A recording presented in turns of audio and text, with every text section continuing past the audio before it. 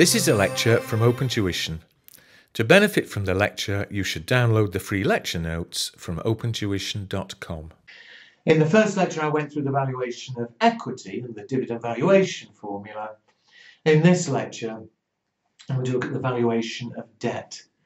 Uh, and the principle is exactly the same, that in theory, the market value of debt is equal to the present value of future expected receipts.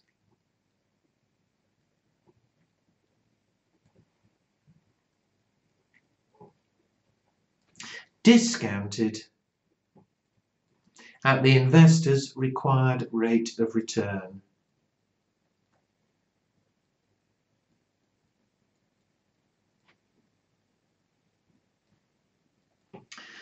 Um, so the same principle uh, as for equity, exactly the same, same logic, except that of course uh, debt lending, debt lenders aren't getting dividends; they're getting the interest instead. Uh, and how we uh, work out the value depends on whether it's irredeemable or redeemable debt. So first of all, irredeemable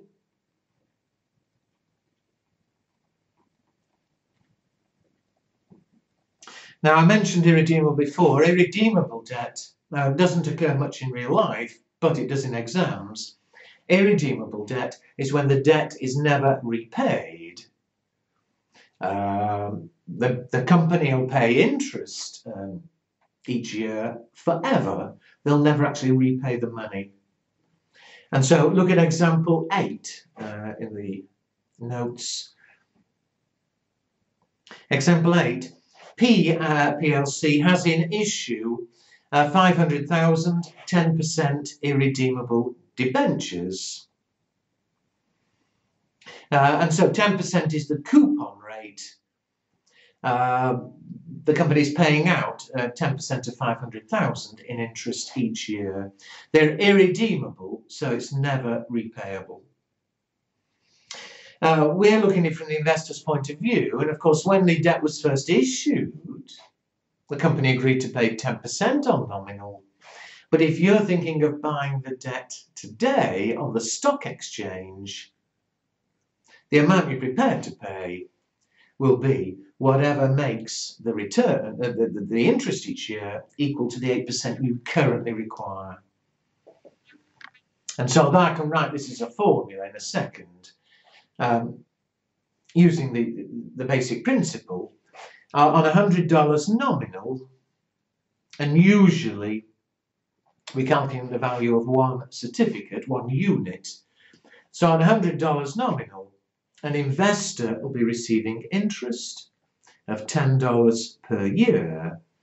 If it's irredeemable, it'll be $10 a year in perpetuity. Uh, the market value, It'll be the present value discounted at the investor's required return of here 8%. And so the discount factor for a perpetuity, 1 over R, 1 over 0.08, uh, means that the market value will be uh, 125. Uh, it's an ex interest market value uh, it's assuming that interest has just been paid. And so the first interest will be in a year's time. Uh, and just as uh, with shares, always in the exam, market values are ex int unless you're specifically told different. If, um, if they were about to pay the interest, then the cum interest market value is the ex interest value plus the interest about to be paid of $10. It'd be 135. So exactly the same as with equity. And of course, the logic is exactly the same as equity. Um, that if you can currently get 8% interest from the bank, how much would you be prepared to pay or have to pay for one unit currently of these debentures? Uh, they're giving $10 a year. And so you'll have to pay whatever makes the $10 a year 8%. And of course, if you invest 125 at 8% interest, you'd need $10 a year. That's what this is giving. Uh, and it's perfectly practical. As general interest rates go up and down, the market value of debt goes up and down. You know, just suppose for the same example, general interest rates went up to, um, let's say, 12%. Well, if general interest rates, if you get 12% from the bank, you're only prepared to buy these uh, debentures, provided they were giving 12%. And so 12%, $10 a year, 1 over the required return, uh, would give a market value of 83.33. And uh, I say that's exactly how things go in real life. That as general interest rates go up and down, the market value of debt goes up and down. Because again, if you can get 12% from the bank, you're only prepared to pay $83 for these uh, debentures because the return of $10 uh, a year you'd be getting would be a 12% return on your investment. Uh, by all means, learn that as a formula, and I've written it down. The market value is the interest, the coupon rate, divided by KD, where uh, KD is the investor's required rate of return. So, you know, back to the original 8, the coupon rate, the interest on $100 nominal is 10. KD, the required return, 0.08. The market value, therefore, 125. Oh, I spent enough time there, but there is another example, example 9. Uh, just let's check. They've got an issue a million, 6% debentures. The required return is 12%. And so, for $100 nominal, the market value, the coupon rate, the interest, $6 a year, over the required return, KD 12%, uh, means, is that 50? 6 divided by 0.12? Yeah, the market might be 50 PC ex int. $50 for every $100 nominal. Okay, well that's uh, irredeemable. However, where there's slightly more work involved is suppose it's redeemable debt. And I did remind you before, redeemable is when the debt is going to be repaid. So you get interest each year until the date of repayment, and then you'll get the repayment. And here, as you'll see, there's no formula. This one we have to do from first principles, that the market value is the present value of future expected receipts, discounted at the required rate of return. Look at example 10. Uh, R has in issue 400,000 8% debentures redeemable in five years' time at a premium of 10%. Investors require a return of 12% per year. Well, on $100 nominal, uh, what uh, receipts would you expect? You'll expect to get interest each year the coupon rate 8%, so $8 a year for five years, for every year up to repayment. In addition, in five years' time, uh, there'll be the repayment. It's at a premium of 10%, and remember I did say this in an earlier chapter, if debt is repaid at a premium, it's always at a premium on the nominal value. So the nominal value is 100, a premium of 10%, they'll be repaid 110. So if you were thinking of buying these debentures today, those are your expected uh, receipts Uh, the required return is 12%. The market value is the present value discounted at 12%.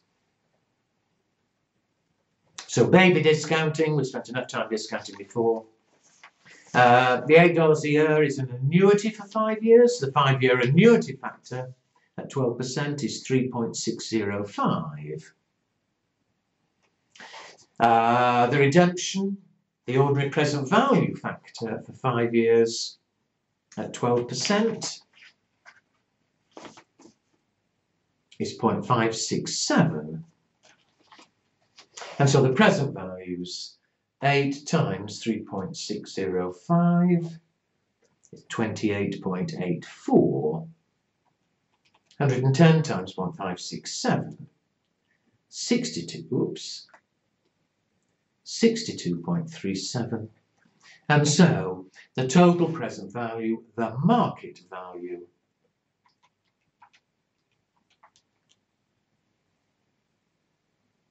oh dear, dear, dear, uh, 91.21. Uh, a small point, a very obvious point. Uh, normally, uh, we're after working out the market value of one unit.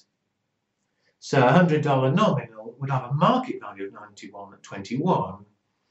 If they did want the total market value of all the debt in issue, the total market value, well, there's a 400,000 nominal value the market value 91.21 for every 100. And so the total market value of the debt in issue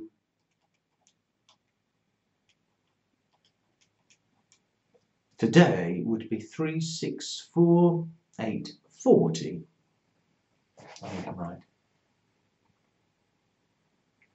Okay, again, one more of those. So I say there is no formula, and so this is quite common. Uh, no choice but to um, discount the expected receipts. So in uh, example 11, there's 7% debentures redeemable in four years' time at par. So again, on $100 nominal, the interest, the coupon rate, $7 a year, for four years until uh, redemption. The repayment this time in four years' time, well, they redeemed at par. So the repayment is at nominal value of 100. The market value, the present value at required return of 10%. So the annuity, the four-year annuity factor uh, at 10% is 3.170. Uh, the redemption, the ordinary present value factor for four years, 10% is 0.683. And so the present values 22.19, 68.3, total present value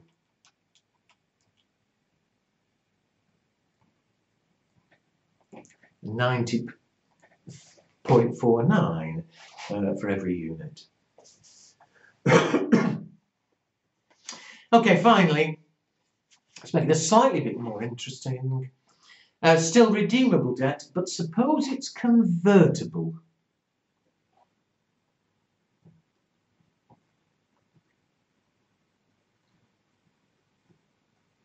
Now, I explained what we meant by convertible debt um, in an earlier chapter, when we were looking at sources of finance, uh, is debt where um, at the end of the period, you know, they may be converted in four years, in ten years, but at the end of the period, when it comes time for repayment, the investor has the choice of taking cash or a fixed number of shares. So let's see what would happen. Uh, if you look at uh, example 12, the company has in issue 8% debentures.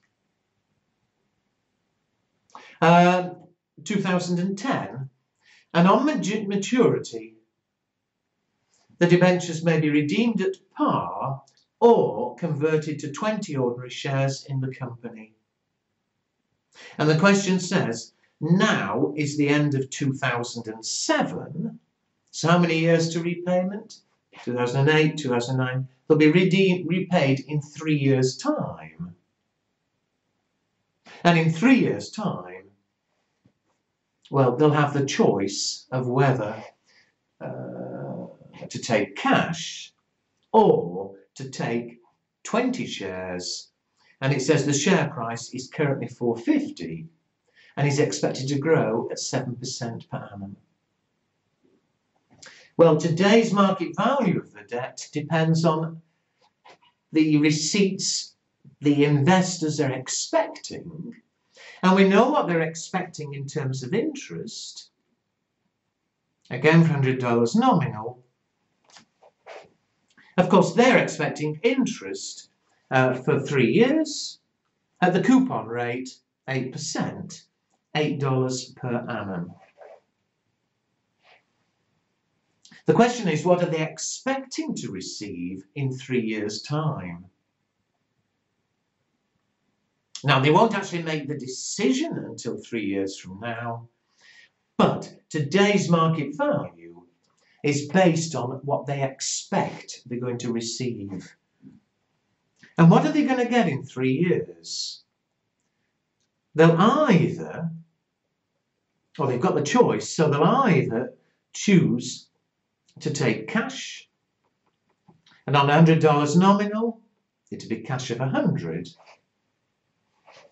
or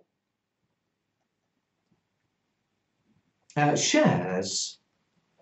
And if they choose to take shares, they'll get 20 shares at whatever the share price happens to be in three years' time.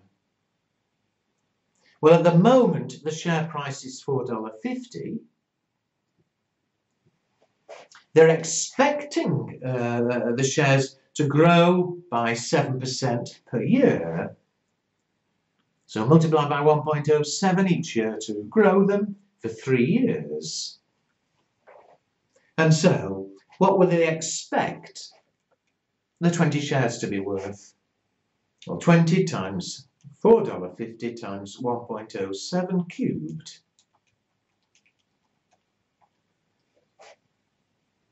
Gives me 110 0.25. So as of today, what do they expect will happen on redemption? It'll be their choice, and so clearly they choose whichever is the higher, in this case the shares. And therefore,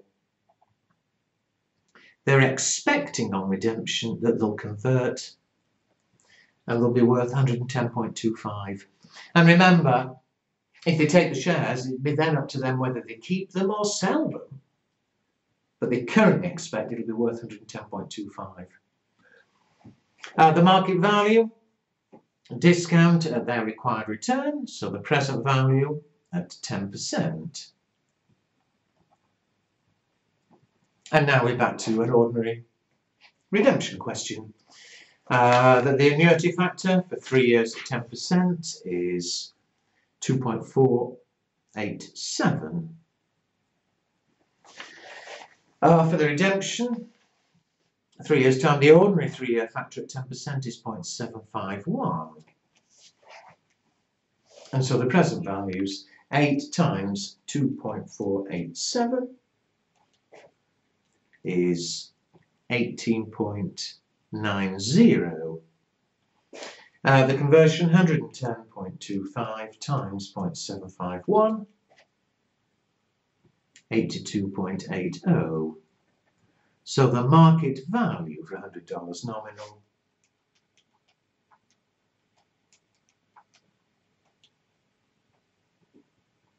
Hundred and one point seven oh. Now, two things here. Firstly, do do remember that okay, today's market value is based on what they're expecting as of today, that we'll get 8 a year for three years and then they'll get shares worth 110. But remember, that can change over time uh, because their decision about whether to take shares or cash, they won't actually make the decision until three years' time. In three years' time, they'll look to see what has happened. Maybe the shares are worth more and they take shares. Maybe the shares are worth less and they take cash. It's simply that today's market value is based on today's expectations. Uh, secondly, you'll see the question uh, asks, what is the current market value? And there it is. It also asks for something called the conversion premium.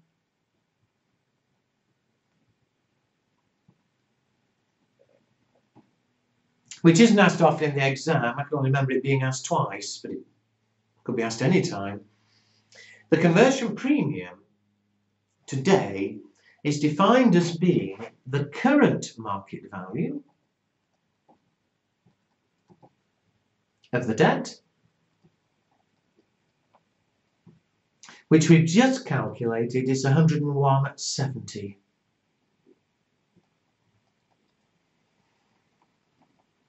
Less today's market value of the shares they would get. The current market value of the shares that they get on conversion. Well, how many shares would they get if they converted? It's 20. And what's the current market value? It's $4.50. And therefore the current market value of the shares is 90. Obviously, they're not converting today at all. They wait three years, they'll get interest. As things stand, they think they will convert and get more. But the conversion premium today is the difference. Which is 90, $11.70 per $100 nominal. But there we are. Okay, so that's the end of that chapter, the valuation of securities. Uh, one thing that may have occurred to you is how do we know the shareholders required return when we did equity? How do we know uh, what return debt lenders require when we're doing market value of debt?